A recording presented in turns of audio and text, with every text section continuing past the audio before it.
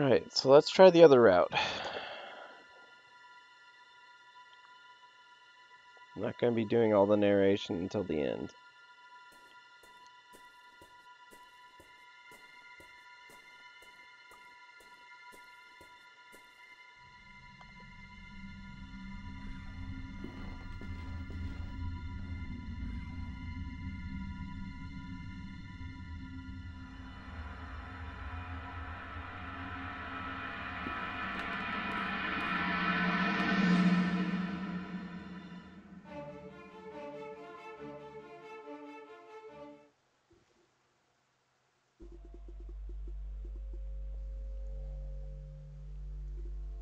Alright, let's do this as quick as we can so we can get back to where the actual ending stuff is. Alright, walk to the right.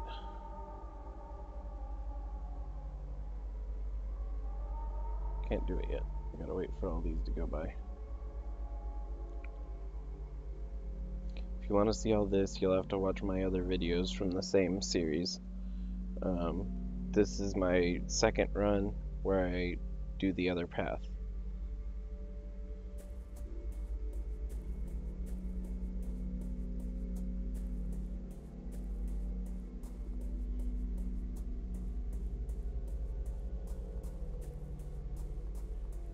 I will say though again, I guess I can kind of give my thoughts until I get there. Um, this game is very clearly inspired by a lot of different media, but it still does a very interesting story of its own with this. And it's mystery. I mean, there's still a lot of vagaries that you could kind of fill in your own thoughts, or someone might consider it also to be complete BS. Um, it all depends. I find it to be interesting. Someone who's not really looking for a bunch of minutia might find it to be just a bunch of rambling. But yeah, I um I can see that there's plenty of flexibility for interpretation for the reader. And let's see here, where do I go next? North when you get the chance. Um, the writing in this game is very good. I'm really sad by the two or three glitches that happen uh, with the names and like the lens and some of them is worded wrong on the item thing. And it keeps just having some weird text errors here in just the last three sections, which is sad.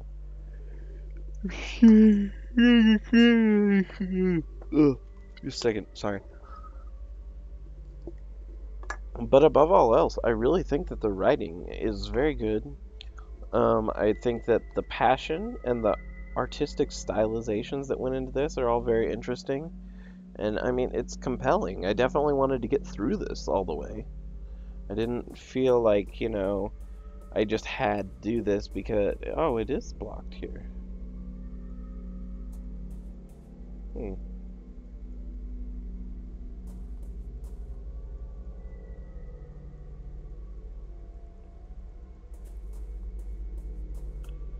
Oh, so this one's very linear. If you do things out of order, it will make you do them in order.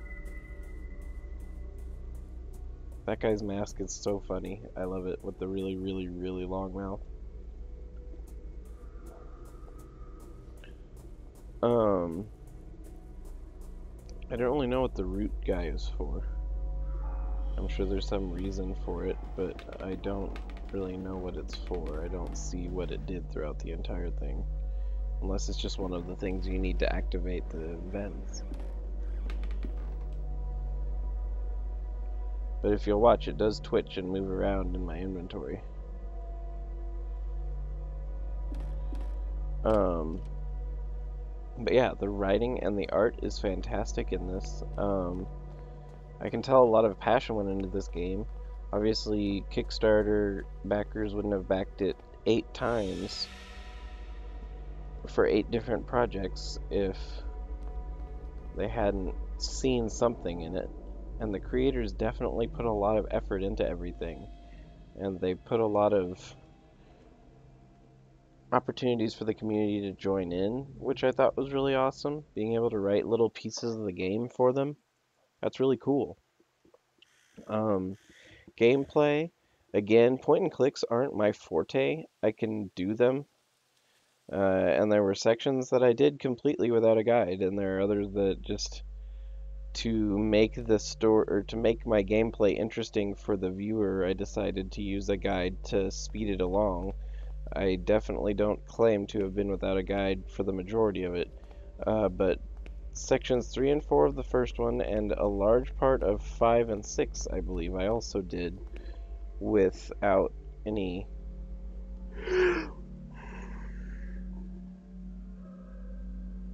without any guide. And even there were times where I would have the guide open simply because I wanted it just in case so I could speed it along if I felt like I was taking too long. Um, I still did figure out plenty of the puzzles on my own, so it's not like a super challenging game. It is tricky. There are a few things that are definitely tougher. Um, there are a couple things that I was like, mm, I would not have guessed that if I was not reading a guide. I would not have figured that one out. Um, especially ones that requires like a certain amount of waiting or things like that. Um, I'm not sure. I mean, I guess not clicking is indeed an option. But those are the ones that would have messed with me. Those are the ones that would have messed me up. Oh yeah, now I can look at what the links said.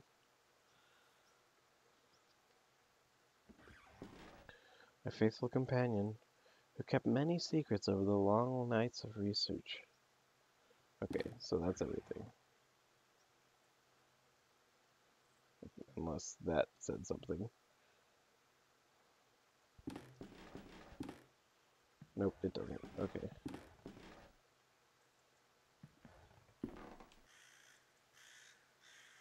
We could stop. We could leave him be. It's not too late, is it?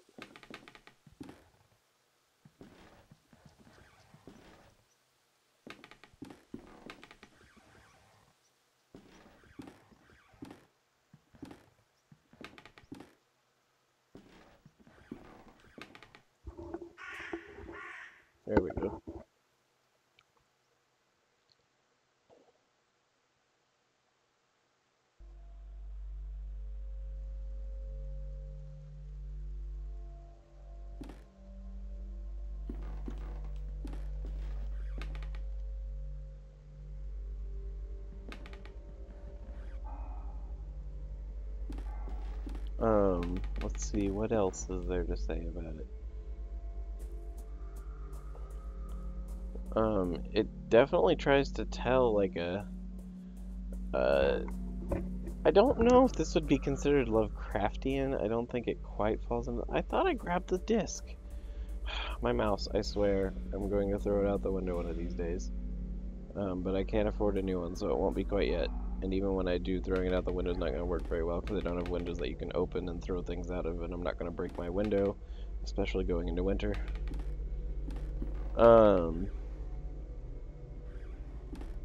So basically, it's all just a bluff. The... What was I saying? Oh, yeah. It's definitely one that speaks to madness and otherworldly horrors. Uh, it definitely has its inspiration from things like, um,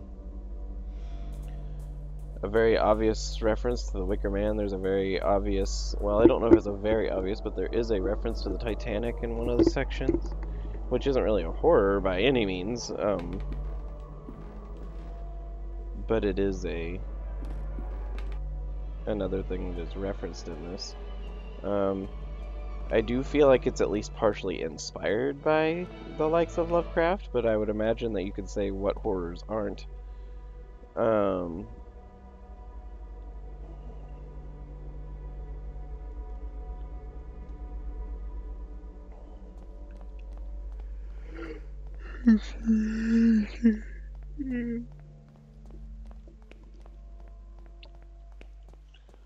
I'm not quite sure where, I mean, I'm guessing there's probably some sort of, um, thing that has a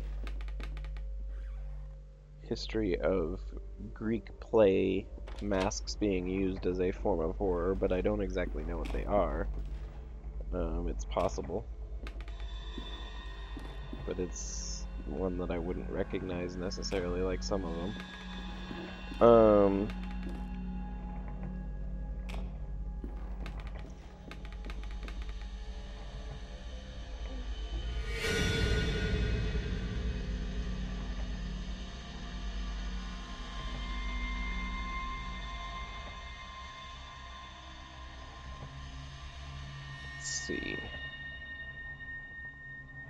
amazing how much detail can be done with such a low resolution. Um, I really do grant a great deal of kudos to the team for making everything look like what they say it is. Um, this game is available on mobile now, which I can see how it would work well on mobile because a low resolution game I think would work just fine on mobile.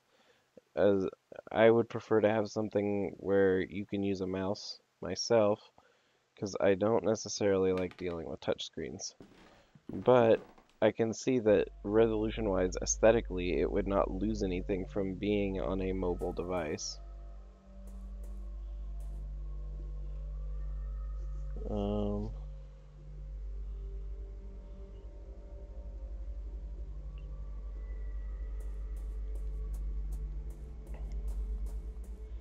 I guess this speaks a little bit to Scream, the the the Scream art piece with the mask looking kind of like the duder in that.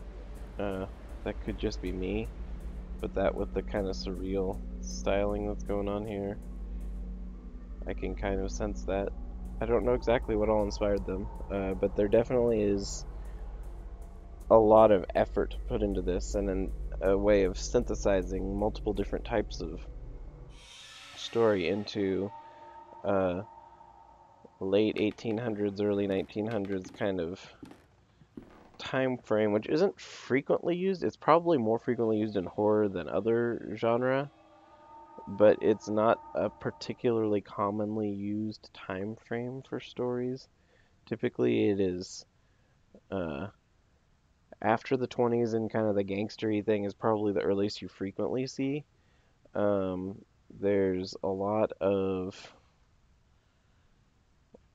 uh, 1950s and later, a lot of a uh, ton of 80s and later. That's the most common is 80s and later, sci-fi or early fantasy, like high fantasy.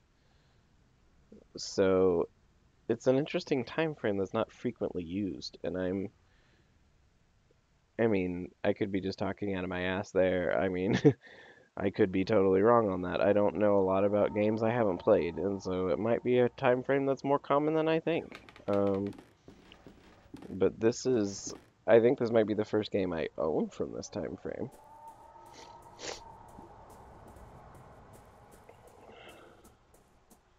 But it is well done. Um, I I'd probably give it an 8. Um, maybe a 9. Uh, I'm not completely sure. I'm not particularly rigid when it comes to um, the numbers. I feel like the numbers are convenient and useful for a person who's trying to evaluate things. But I personally am not good at assigning a number to my thoughts on something.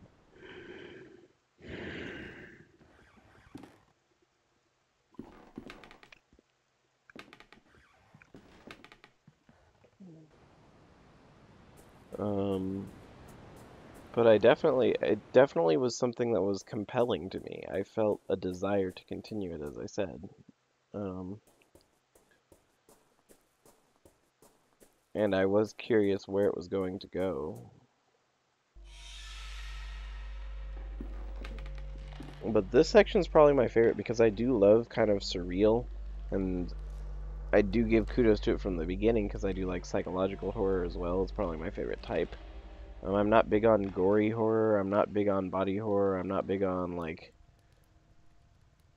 that kind of stuff. I'm much more into the the situation either leaves ambiguity or leaves a sense of danger that you're not completely certain of, or things where it's the more the psychological understanding of what's happening or you know cosmic horrors and things like that even though i personally have never read lovecraft. I i would but i'm so bad at reading and i've heard it's fairly dense. It's a fairly dense read sometimes uh, similar to tolkien as far as levels of detail. And it can be jarring for someone to or well pick it up. Why does it have to tell you it's an item and then make you pick it up? That I guess that's one criticism I have is it should tell you what it is and then just pick it up uh, instead of you having to click it again. Because otherwise, sometimes when I'm trying to do things, I will leave it and then have to go back and find it.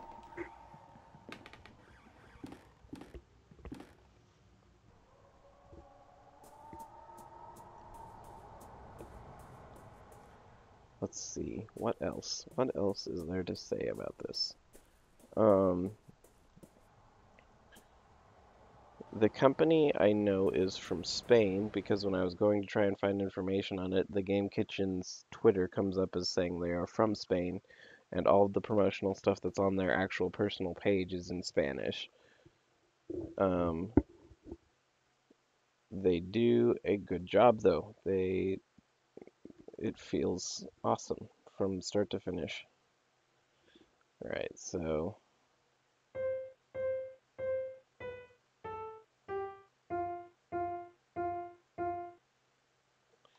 the hmm, the ambience, I guess that's another thing I could say is the ambience works very well.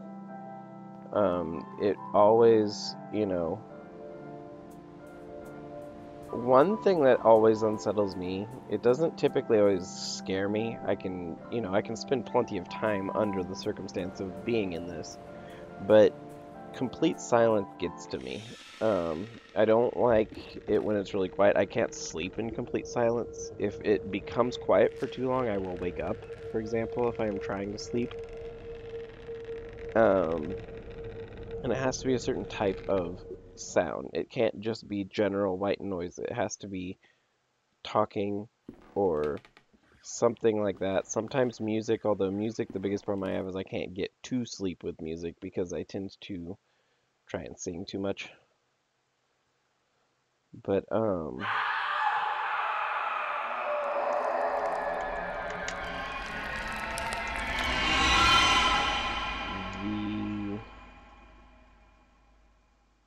that they use it where it is completely silent at certain times or it has just very natural it doesn't seem like the sounds that are put in are just kind of there. They seem atmospheric. They seem fitting with what's going on here. Alright now here's gonna be the really fun one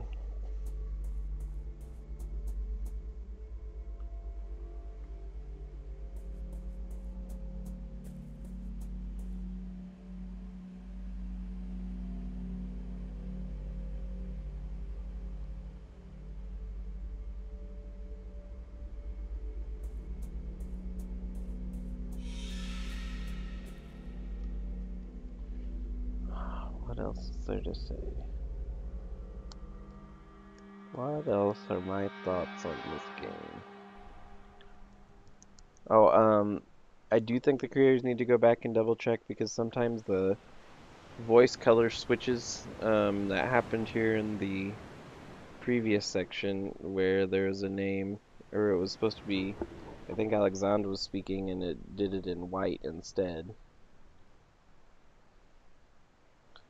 Um,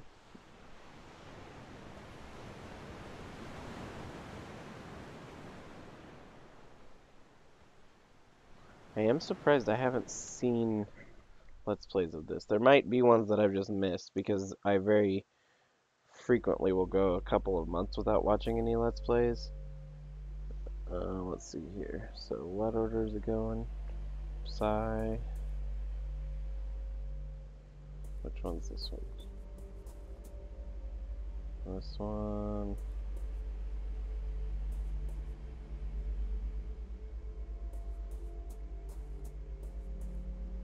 Letter S.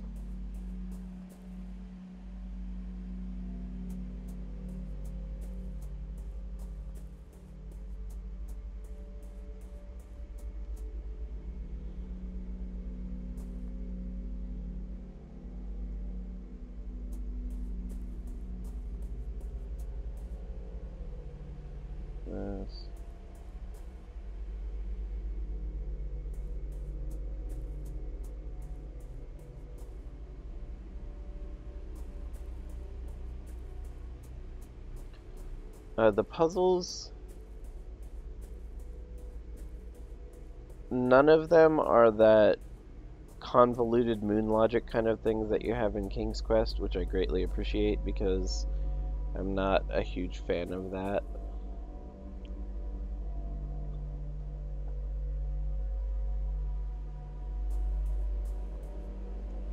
Um, I mean, more power to you if you have those, but it is one of those things that can turn me personally off to a game.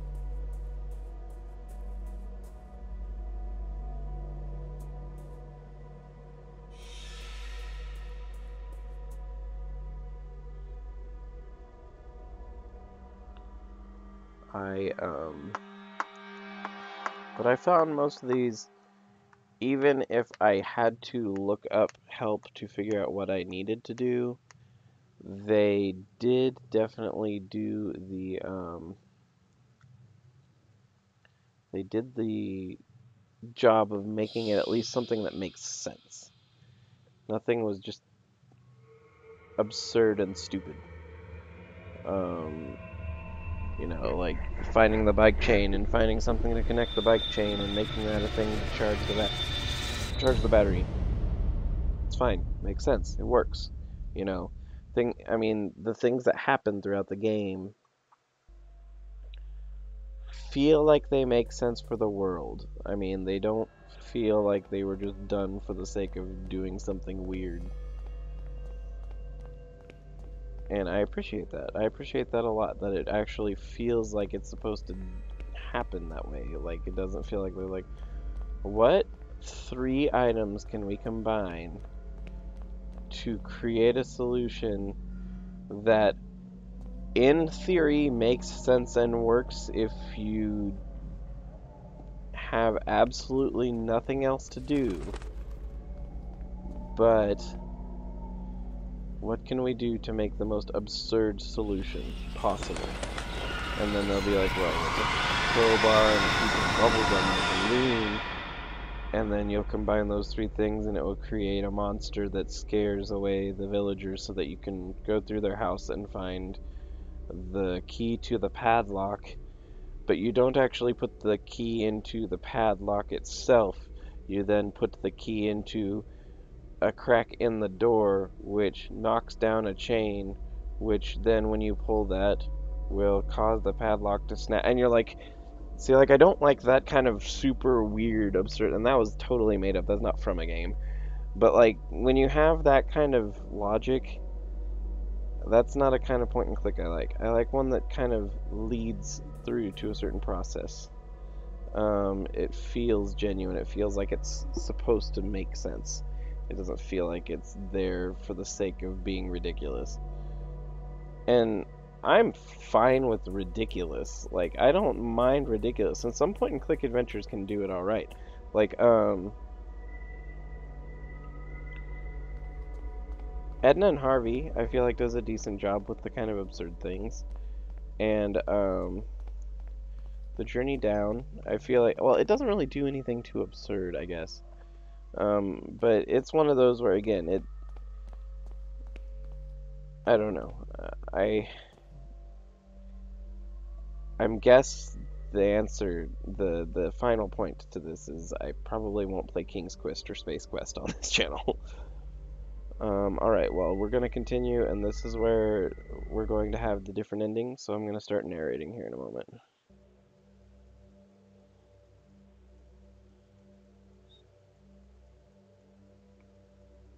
Alright, so I'm just not going to go through the curtain this time.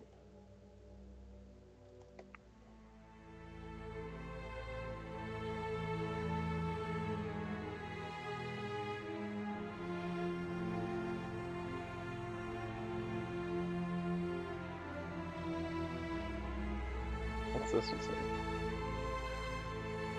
Yeah, no, Anthony started the group at school, but by the end of his life, he had lost the determination to go any further.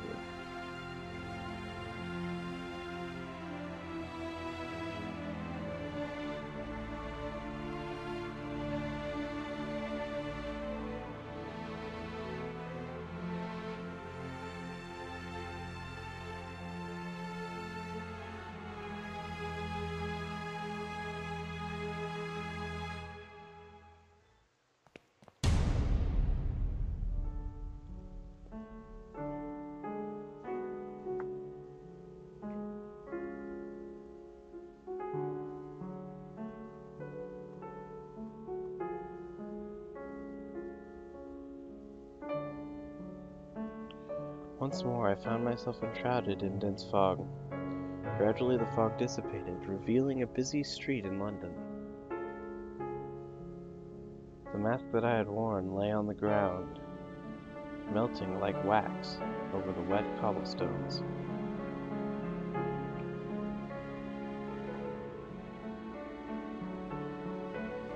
Dizzy and exhausted, I wandered the streets until at last I returned home. Small, as it always does after a long journey. As I removed my coat, I found a feather in one of the pockets. The same one that I had discovered before being engulfed by the black mass of the Simurgh. With a jolt, I realized that it had not been a dream, ashamed at how quickly I had deluded myself into thinking otherwise.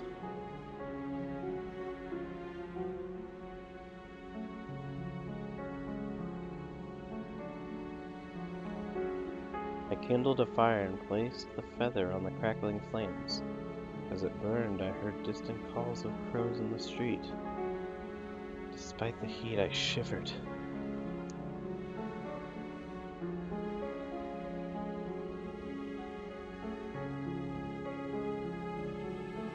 Patient and friend Jeremiah Devitt had sacrificed himself.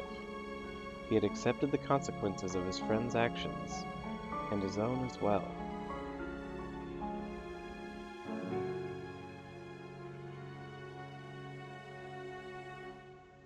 He had crossed the threshold, leaving the veil through the red curtain of truth, and forever closed the last door that had led to those horrors.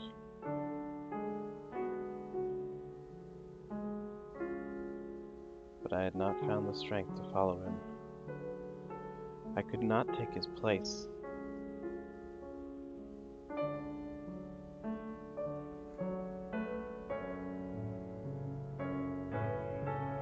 I doubt that I will ever learn the fates of those who remain there, those who are hopelessly trapped in Vile Hall.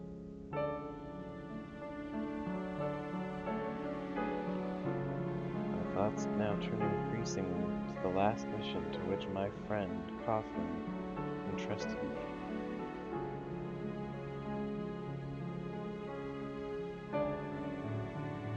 I must make sure that no one ever learns what we discovered. So either way, it ends in suicide, I suppose?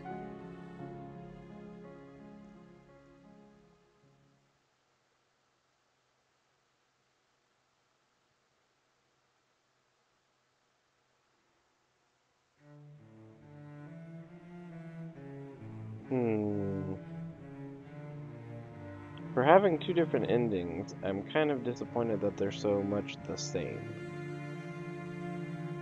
In both, you burn something. In both, it seems like you probably kill yourself. In both, you're completely regretting everything. I mean, it's fine insofar as it is a legitimate horror ending that it ends in death. Um, if that is indeed what happens there, I could be misinterpreting that. But if that is what happens, it's a completely legitimate ending. Um, but the fact that both endings are essentially the same, I am a little bit disappointed in that. Um, I mean, it doesn't take away from the quality gameplay and the quality writing up to that point. But the fact that both endings are practically the same ending is a little bit disappointing to me.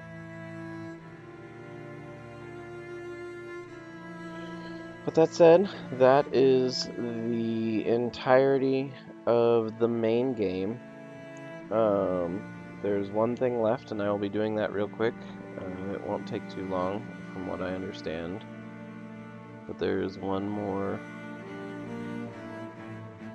um, miniature thing that goes with this.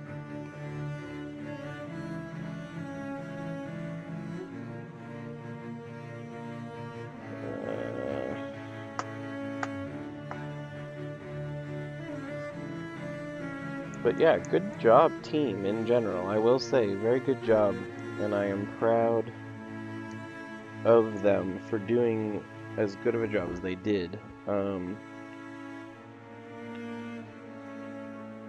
it is different in October because I'm playing much more these games that have a more somber tone than what I typically play. Um, I, that's part of why I tried to feed in as many sillier games or games that were much more upbeat. Like Monster Bash is definitely nowhere near as dark and grim and depressing. Um, it has all of the tropes of a horror, like an homage to horror in every single way, as far as I can tell. But it really does um, have a more upbeat tone to it and is much more just a quirky platformer. Um, rebuild 1 and 2 and the good ending of 3, if you can get to the good ending of 3, which is very tricky. Um, and mostly requires just a lot of patience. Uh, they are...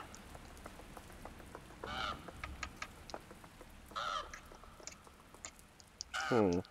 They are more optimistic in their final outlook. Uh, the last one not being as much so, since the main ending you're going to see is very much not that positive.